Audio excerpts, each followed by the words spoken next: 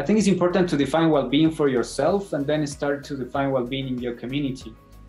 We, travel to the future and, and we, we imagine, okay, what if uh, we do everything right from now on?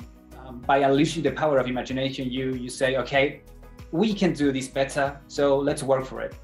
This is the Green on the Go podcast, where we talk about keeping travel sustainable. And for today's episode, I'm joined by sustainable travel expert Marco Lucero. So, hi, Marco, and welcome to the Green on the Go podcast. How are you today? Thank you. Yeah, very good. Very good indeed. Thank you. Good. How are you? oh, I'm very well, thank you. Very well. If you could um you could just tell all the listeners where you're um, talking to me from and uh, a little bit about yourself and your background. Mm. Uh, I'm in Santiago de Chile at the moment. Um, I grew up here. And um, well, about my background, I, I studied a little bit of uh, business and administration, but then I, I got freaked out on how business was was taking over my life, and I, I didn't that path to go further. So I, I traveled into Australia to pretend that I was going to study English, but but instead I went and did a course of permaculture, which is sustainable designs thinking, and that changed my life, and that brought me into sustainable tourism. Oh wow! So how long were you living in Australia for? Uh, well, that time was one year. I, I, I, went away and then I came back and studied um, ecotourism administration here in Chile but then I went back again and and I was living there for three, almost four years. Oh wow! Oh wow! Amazing. Do you think you'd ever go back? Would you ever go back to live in Australia? I, well, I don't know. Maybe, Maybe yeah. Who knows? beautiful place. You never, you never uh, get to know it all because it's such a big country, that just a continent. So yeah, I'll yeah. definitely have to come back to visit some places. Yeah. Yeah, absolutely.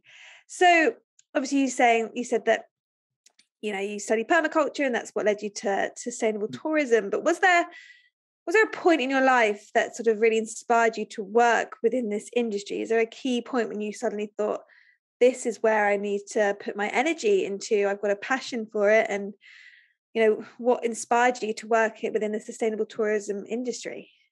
Yeah i think it definitely was permaculture in some way because i was traveling myself i was a traveler um, and I and I realized how much I love traveling and how how important it is to travel to get to know different people, to share ideas, to to reflect with other people, to create spaces where you can um, listen, which is so important, and uh, to see different points of view of how the world is and our relationship with the world. Uh, so while traveling, uh, and and also while studying permaculture, I, I decided that uh, tourism was a very good tool if you want to protect a place, to protect the culture of a place. Um, and so I decided to come back and study uh, ecotourism administration because I saw tourism as a, as a tool to, to protect and to improve the well-being of, of uh, territories and people and nature.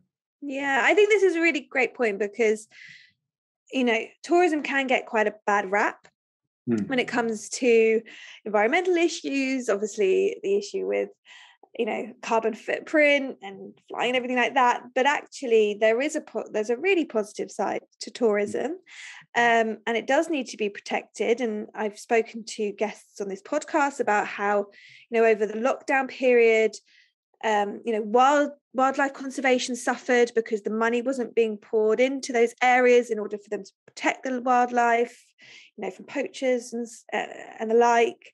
Um, you know, people were losing their jobs. You know, so it, it, it is a very important part of our world.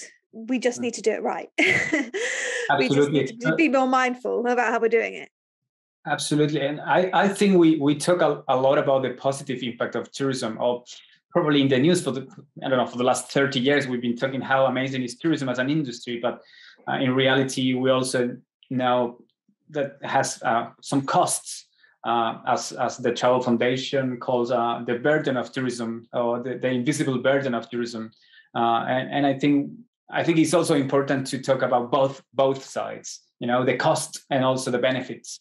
Uh, I, and I think we, we've been talking too much for 30 years uh, too much about the benefits, and we also need to focus in the costs, uh, but not forget that tourism is a tool, and as every tool, you can you know do something positive or do something extremely negative is the way you use it. So yeah, yeah absolutely. To look the big picture of it. Mm. There's all there's two sides to every story, isn't there? And it's about getting finding balance. That's what we're we're, we're just trying to do, find balance. Absolutely. Um, now, I know that most recently you co founded, and this is where I'm not going to be able to pronounce it. So I'm going to say it in English, and then you're going to tell me the translation. But in English, it's uh, translated as the caretakers of destinations. Um, so if you could tell us a little bit about this project, a little bit about, and also, you know, what it's actually, if you could translate it how it's meant to be said because I've tried and I've butchered it and you'll be able to say it much better than me. so Cuidadores de Destinos is, a, a, is a, a, company that I co-found with with uh, friends and, and, professionals from the travel and tourism industry in, in Chile. Uh, we created this company uh, during the pandemic. So in March 2020, we started talking about it we use the opportunity of uh, tourism uh, not being able to to to to produce to act uh, um, to reflect. So first of all we created a space of reflection. And i think that word is very important for us uh, ref- to reflect. And we have a, um, bi- biologist and, and philosopher in chile called humberto maturana who passed away recently he, he said that to reflect is to let go one's certainties. And that's what we did about tourism. So we let go many certainties that we had about tourism. We reflect on them. We look up on them. Uh, we we analyze what are the paradigms behind those ideas. Why did we believe and said that? Uh, we we said something that turismo was the industry without uh, without chimeneas, without burning. I don't know how do you call these things from uh, big industry that uh, chimneys. Chimneys, yeah. Smoke, yeah. Uh, yeah. So so so in Chile we, we said that tourism was the the industria sin chimenea, but in reality, as as we all knew, uh, and from from the um, paper on on Nature in 2016, we knew that tourism um, um, emits uh, eight percent of of global um, greenhouse emissions. So um, we reflect, we created this space and we decided to create a company. Uh, and we also thought that probably the most necessary thing to do, especially in Chile and South America, is to put our energy into destination management and to facilitate that process, process and accelerate it into a, a destination framework that puts the needs of residents and nature at the center of the of its management. Uh, something that is not happening yet in Chile, at least. We're still thinking of our management plan uh, with the visitor at the center, without taking into account uh, residents and nature. So we are uh, a company uh, that accelerates this process. Um, so what we do is we work with small destinations, actually with municipalities, uh, and and we help them to bring residents and to bring nature into the table and to think uh, uh, uh, a way that the, the destination management plans uh, could put the needs uh, uh, of them at the center. And that changed the whole paradigm of tourism. So because the purpose has changed, the purpose is not longer to bring more and more visitors, uh, but it's to improve the well-being of the territory of the destination. So that changes everything. That changes the management, the management plan, the um, the marketing plan, and, and, everything around it. Yeah, so, so kind of quality over quantity, I guess. Absolutely, yes. And how has it been received? How has have you how have your ideas been received by the destinations? Are they all for it? Do they love the idea, or are they thinking, no, we want to get as many tourists in as possible and bring the money in? I think there's been it's been definitely a, a shift into uh, thinking not only short term but long term for, for tourism. Uh, they they've seen that the model of just thinking short term doesn't work for, um, and, and you get residents complaining, and, and you get some some you know, tourism phobia happening, um, um, and, and yeah, our, our workshops are uh, definitely a space for for people to to get together, reimagine what the tourism can done can can do for the destination, uh, because people in a destination have different points of view. Uh, you get people, um, you know, uh, some, sometimes companies don't don't align with the residents' needs. Uh, but if if you uh, ask them what would they like to to for the future of the destination, uh, and that is what we do in, in our one of our workshops that is called Memories of the Future. We travel to the future and and we we imagine how, how would it be if if we do everything right uh, for the destinations for the next next 10 years. And we all agree in the same thing. We all want the same things for the for the destination. We all want something sustainable uh, uh the well-being of the residents uh, are, good and and and and um, yeah a, a, very good economy for the for the tourism companies um, so when you set the purpose of the of tourism, uh, you have an idea of what do you want from tourism. Then you can align everything, your management, your marketing plans, and everything is involved in the process as well. So uh, our work for the year and a half that we we we have as a company has been extremely successful. We are very happy with it and also the people that has been working with us at our destinations are very very happy. And it also gets very emotional as, as well because to give the opportunity to reimagine a beautiful future in such a chaotic time it gives gives you um, the will to do things to say okay hope. let's work yeah it gives you hope. Let's work for it.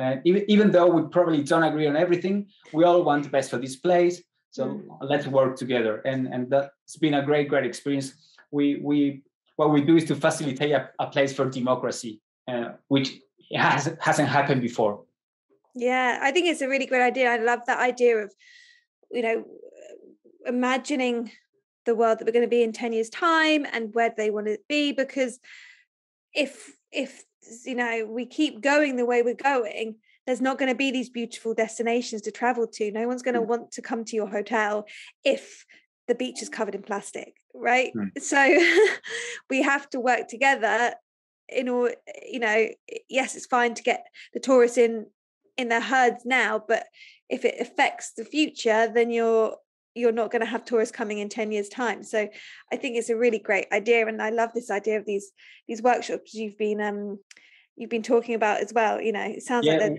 really really working we call unleashing the power of imagination uh, because yeah because we, we we've been so much thinking about how terrible things will be and we don't even want to act on it so um, by unleashing the power of imagination, you you say, okay, we can do this better. We can imagine a beautiful future, a wonderful future. So let's work for it. And and yeah. and that that's been amazing experience for us. Yeah. Now now uh, now this is this is actually was was where I first heard about the work that you're doing. It was from uh, Ben, who works at the Travel Foundation. He recommended I speak to you because he was talking about these KPIs that you use, you know, and to unleash the power of imagination. And I know that you've got a bunch of them that are mm. quite unique to you and they they really just they're really eye-opening and i've got a few of them written down here you've got um so the percentage of local children who play in a public space, mm. percentage of ambient audio that belongs to bird songs, percentage of people I know by name on my street, percentage of bird species that I can name in my habitat, percentage of people who greet each other on the street, amount of onces, which is a Chilean tea time that I have weekly. Yeah. How do you say that? On, onces. Onces. Ah, okay, onces. Um, young people returning home after migrating for a little while. Um, percentage of local people who enjoy the tourist attractions of the habitat, and percentage of meaningful interactions that I have with visitors. So you know, this these these are great, and you know, it's not about money at all. None of this is about money. It's about experience, isn't it? And quality of life. So, how did you come up with these KPIs? And um, yeah, what what kind of brought you to think think in this way? Hmm. Um, there is a concept in Mapuche culture. Uh, there is called buen vivir, oh, and it's translated the well-being. And and so we want to define what what what does it mean? What does it mean to live well? Uh, in, and for tourism, what does it mean to have a good tourism? Doesn't does it mean more tourists, more money, more staying? Probably it does, but that's not the full picture. It also means, uh, well, what about let's let's measure some things that we think that are important. And so by by by creating these KPIs, we we gave uh, we open eyes for municipalities to start measuring different things and to ask residents what does it mean the well-being for them? Uh, and then so we can, we came up with, with with these KPIs to unleash the power of imagination and to say okay let's create a future that we want and let's make a plan and let let's measure those things that we we think that are means the well-being for us um, two destinations will have definite different KPIs. So one will be focusing on art and culture, and this one will be uh, focusing on you know protecting nature and more activities um, outside. Um, uh, but but yeah, we we need to redefine how we measure the success of tourism.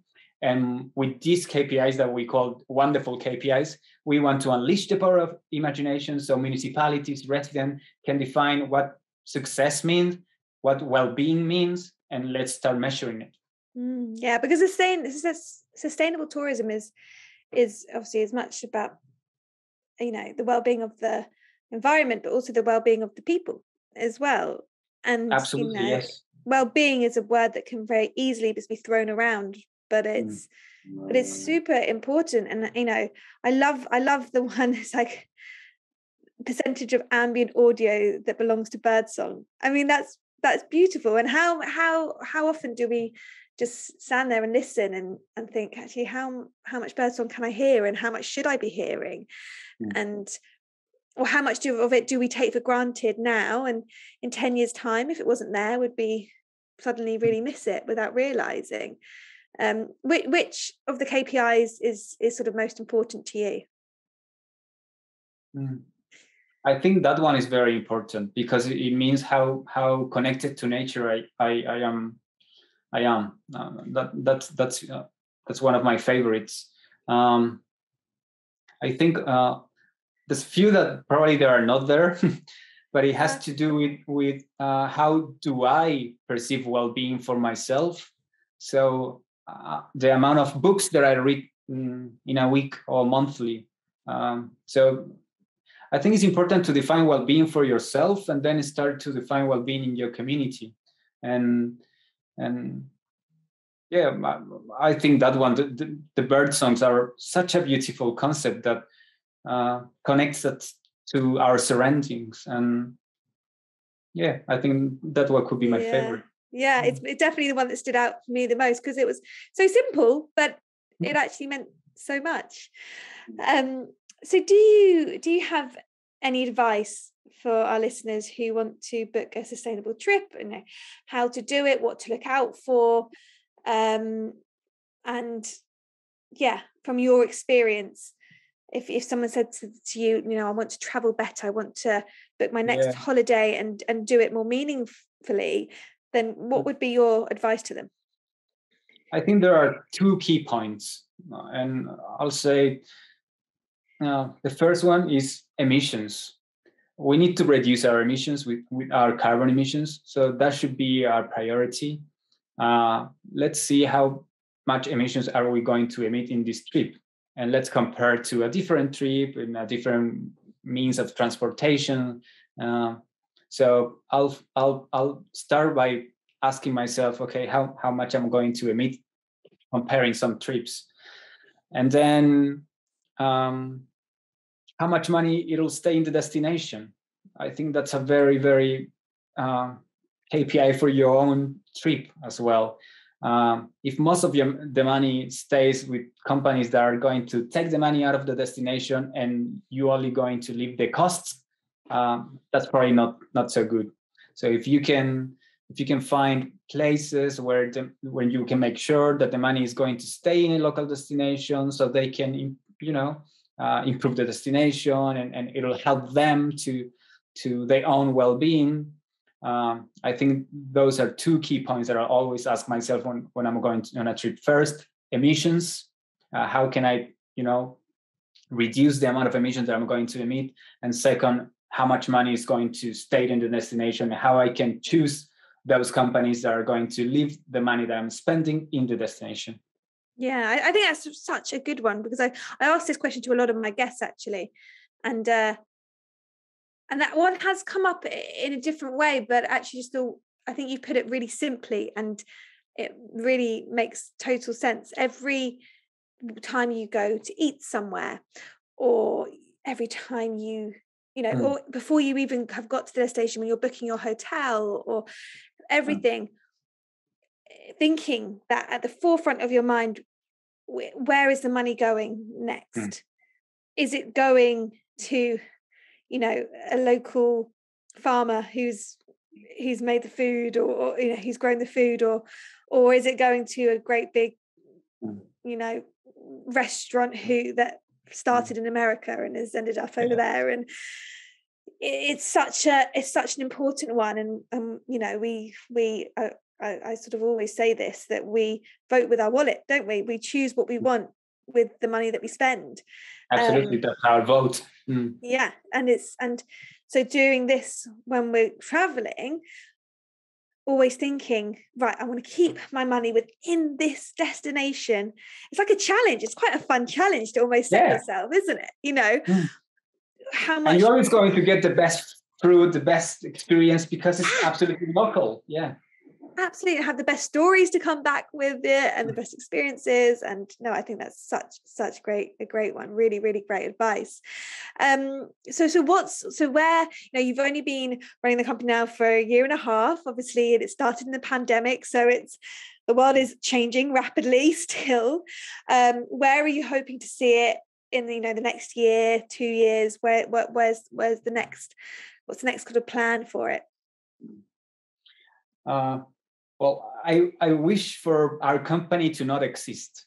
Right. which yeah, means, okay, interesting. which means that uh, every dest- destination management organization in South America uh, puts the needs of residents and nature at the center. So I, I, wish for us to not exist as soon as possible because we need that. Uh, but in the meantime, we'll be working in Chile and hopefully around South America. Mm-hmm. Mm-hmm. Amazing. Yeah, amazing. And what a great honest answer, you know, to say actually the, the the the goal is that no one needs you anymore. Mm. That is the ultimate goal that we the, that no one needs that advice. Everyone is you know living in this balanced world, and mm. everyone is kind of on the same page. Uh, so mm. yeah, no, really fascinating stuff. Um, so if anybody wants to find out a little bit more about what you do, um, you know, where can they find you online? Mm. social media handles, websites? I, yeah, I, I, think for English English uh, uh, listeners, it'll be hard to to find us because our, our website is, is in Spanish. But probably we should um, put the, our link into um, you know the, your, your yeah we'll put it in the podcast. notes yeah yeah in the notes absolutely yeah. but it's cuidadoresdedestinos.com uh, and you can also find us on, on instagram as well or linkedin Okay, amazing, amazing. Yeah, I'll put all the information in the notes so anyone can find you. Um, absolutely, and uh, yeah, really, really fascinating speaking to you today, Marco. Thank you so much, and um, thank you. I wish you the best of luck with everything. And uh, in this is a weird thing to say, but I, I, I hope that the company isn't here in a few years' time. yeah, me too. uh, obviously, that you know, for, for all good reasons. Absolutely, yes. yes we also have time to rethink about our operations, rethink about uh, our future practices, and uh, maybe focus on a better future.